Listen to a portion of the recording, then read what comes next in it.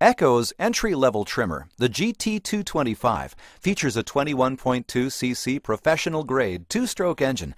Echo's i30 starting system allows you to start your trimmer with 30% less effort.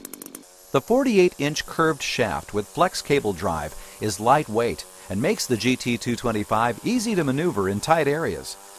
The ergonomic adjustable handles provide a custom fit that can be tailored to fit any operator. The flex cable and trimmer head are supported by dual ball bearings and a durable cast aluminum housing assembly for long life and smooth operation. The rapid loader cutting head reloads in seconds. Simply insert pre-cut lengths of line and you're ready to go. If you're looking for a trimmer that's even easier to start, check out the Echo GT225i.